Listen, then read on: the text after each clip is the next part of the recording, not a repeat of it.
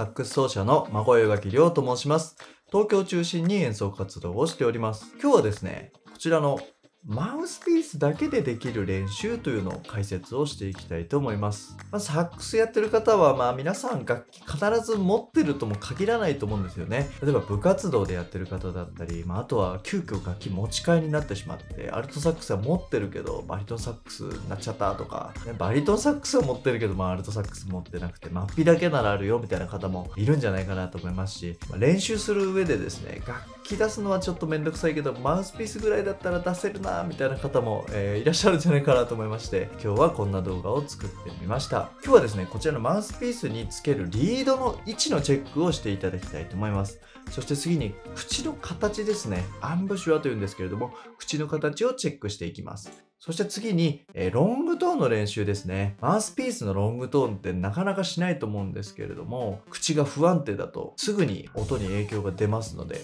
えーそちらのロングトーンのチェックをしていきます。そして最後にですね、腹式呼吸ですね。こうお腹を使った呼吸っていうのが、えーマウスピースを使って練習できるので、えそちらを鍛えていきたいと思います。まあなかなかこれだけでこう練習する機会っていうのも少ないかなと思いますので、今日はですね、ぜひ最後までご覧いただいて、今後の練習に活かしていただきたいなと思います。というわけで、早速いってみましょう。ではまずリードの位置をチェックしていきたいと思います。その前にですね、皆さんこういったマウスピースをセッティングするときに、マウスピース、リード、リガチャですね、これどういった順番でつけていらっしゃいますでしょうか？結構よく見るのがですね、このマウスピースに先にこうリードをつけておいて上からリガチャをストンとつける方多いかなと思うんですけれどもこれはですねちょっと非常にリスキーでですね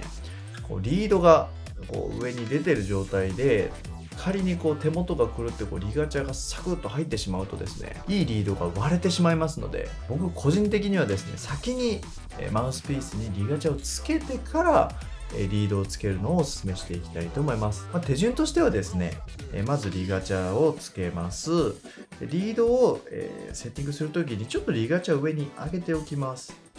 でそのまま、リードを下げながらリガチャを下げていくと綺麗に決まるかなと思いますので、えーぜひやってみてください。でこのリードの位置についてなんですけれどもまずチェックしていただきたいのがリードのこの横幅ですね。これがこうちゃんと合ってるかというのをぜひ見てみてください。例えばですねちょっとずれてるとします。そうするとこんな感じでですねマウスピースがこう見えてしまうんですね。なので必ずこのセンターを合わせるようにしてみてください。で次にですね、チェックしていただきたいのが、リードの先端ですね。この位置なんですけれども、まあ髪の毛数本分は開けた方がいいとか、数本分より上に上げた方がいいとか、まあ、いろんな説あるかなと思うんですけれども、まあ基本的にはですね、上ぴったり揃えちゃっていいかなと思います。本当に、もうここがピトーと、完全にこう、同じ高さになるように、してあげるとちょうどいいかなと思います。で補足までになんですけれどもリードをですねマウスピースより上に上げると抵抗がちょっと増えます。逆にリードをマウスピースの下にちょっとつけるとですね抵抗が下がります。なので、まあ、例えば吹きづらいなって時はですねリードをちょっと下げてあげたりとか逆にリード薄すぎるなって時はリードをちょっと上に上げてあげると非常にいい塩梅になるかなと思うんですけれども基本的にはですねここの頂点を揃えるようにセッティングをしてみてください。リードの位置が決まったら次にリガチャーの位置もぜひチェックをしてみてください。例えばですねえリガチャがちょっと上に来すぎているとですねこんな感じでこうリードの全体のバランスに対してちょっとリガチャ上すぎてしまったり逆にこう下げすぎているとかなりアンバランスな感じでリードの振動がいまいち伝わりづらいなんてこともよくあるかなと思いますので大体ですねこのリードの真ん中ぐらいですね押さえていただくといいんじゃないかなと思います。この色の変わった部分の幅が大体同じぐらいになると横から見てもちょうどバランスいいんじゃないかなと思います。例えば革のリガチャーの場合もそうですね。色がついてる部分が見えてる場所が大体同じぐらいで。まあ、横から見た時もちょうどこうバランスいい感じになっていると、えー非常に吹きやすいので、えーぜひですねこれらの位置決めなどちょっと気をつけてセッティングをしてみてください。では続きましてアンブシュアをチェックしていきたいと思います、まあ口の形のことなんですけれどもこれはですね本当にいろんな教本で多く言われてることかなと思うんですけれども下顎をピンと張るというのをぜひ気をつけてみてください。加え方から、えー説明をしていきたいと思います、えー今回説明するのはですね下唇を巻くバージョンの解説をしていきたいと思います、まあジャズやってる方とかで場合によってはですね下唇巻く巻かないよって方もいるかなと思うんですけれどもまあ大体の方は巻いた方が吹きやすいかなと思うので今回は、えそちらの方法を説明していきたいと思います。まず下唇を巻きますね。リードを下唇につけます。最後にマウスピースに上の歯をポンと乗せていただくような感じですね。まあ非常に簡単なんですけれどもそうした時にですね下顎がちゃんと腫れてるかなというのをぜひ見てみてください。ま、えー、っすぐ腫れていないと非常に音不安定になりやすいのでえー、ぜひ気をつけてみてください。あとですね加えた時に口がですねこう横に引いてしまう方も多いんですけれども下唇がですね横にピーッと張りすぎてしまって音がちょっと硬くなる原因になるのでなるべくですねえ、口はまリラックスしていただいてマウスピースを、え、口でこう均等に包み込むようなイメージで、え、加えていただくといいかなと思います。吹いてる時の顔とこの何もしてない時の顔っていうのが、まあ、そんなに変わんない方がいいかなと思います。僕も昔ちょっと横に張りすぎていて非常にこうなんかこう苦しそうに楽器を吹いてたんですけれども唇にこう力が入ってしまっていたのでなるべくですね自然な状態になるように気をつけてみてください。ここでちょっと注意ポイントなんですけれども慎重にこうマウスピースを加えている時は多分大丈夫なんですけど音を出した時にこの辺崩れてしまう方非常に多いので吹いてる姿を鏡や携帯のインカメラで見ながらちょっとチェックをしてみてください。なかなか口で言っても分かりづらいかなと思いますので映像を見ていただきたいと思います。こんな感じです。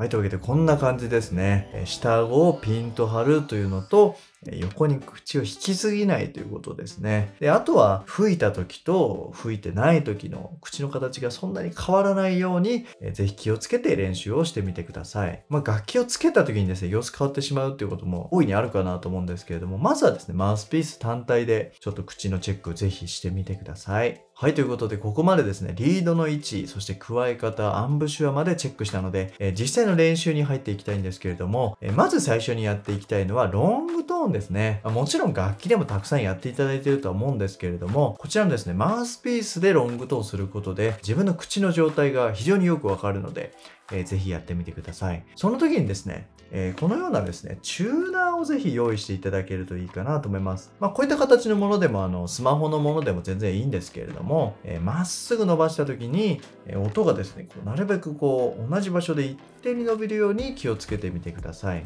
アルトサックスなのか、テナーサックスなのかでですね、え全然出る音が変わってきてしまうので、何の音が出てるかっていうのは正直今回は気にしなくて OK なので、その一回出した音がですね、そのままこうなるべくキープできるように気をつけてみてください。今日はですね、4拍ロングトーンしたら4拍お休みをして、そしてまた4拍吹くというのをやっていきたいなと思います。試しにちょっと4セットやっていきますね。その時に、え吹くたびにですね、音程が変わってしまうっていうのは本当によくあると思いますので、なるべく一定に吹けるように気をつけてみてください。こんな感じです。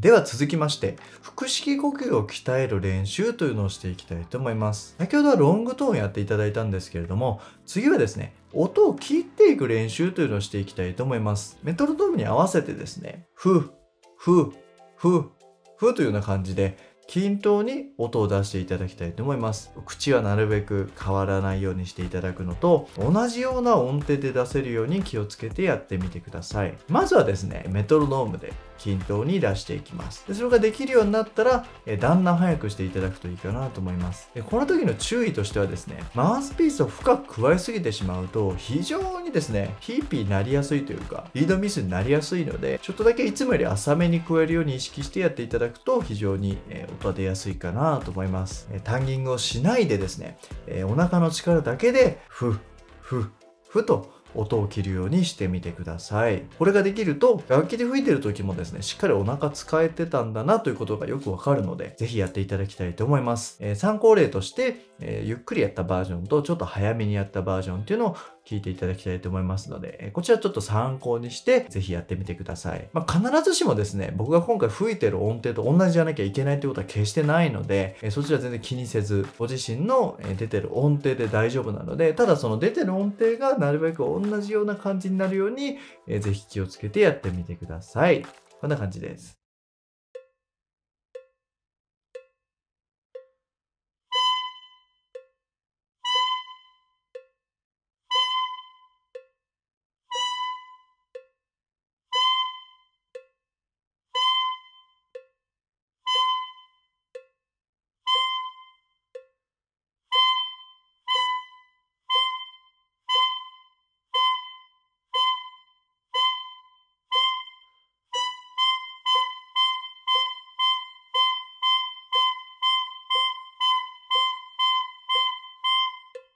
ではもう一つだけ腹式呼吸を鍛える練習をしていきたいと思います。アンスペースで音程を下げるという練習ですね。これまあなぜ腹式に効くかというとですね、音程を下げるということは下唇をちょっと緩めるということなんですけれども、そうするとですね、息がこうたくさん入ってしまうので、お腹の支えが必要になってきます。えそこで腹式呼吸がちょっと鍛えられるというような感じですね。先ほどのロングトーンと同じような感じで、もう自然にパーッと伸ばしていただいて、そのままですね、音程をちょっと下げます。え口を緩めて息をたくさん入れると自然に音程下がると思いますので音程下がった状態でちょっとキープします。そしてまた戻ってくると、え、そんな感じの練習になってます、え、今回はですね2拍普通に伸ばしてえ下がったとこで2拍伸ばして、え戻ってまた2拍という計6拍を伸ばしていただきたいなと思います。この時もですね、あの決まった音程じゃなきゃいけないっていうのは特にないので、自然に吹いた音程よりかは下げると、最初に吹いた音程に戻ってくるっていうのを気をつけてみてください。その時もですね、先ほどと同じような感じでチューナーを見ながらやっていただくと非常にわかりやすいかなと思いますので、えー、ぜひ試してみてください。テンポはまあ60ぐらいでやっていきたいなと思いますので、この後の動画参考にしてみてください。な感じです。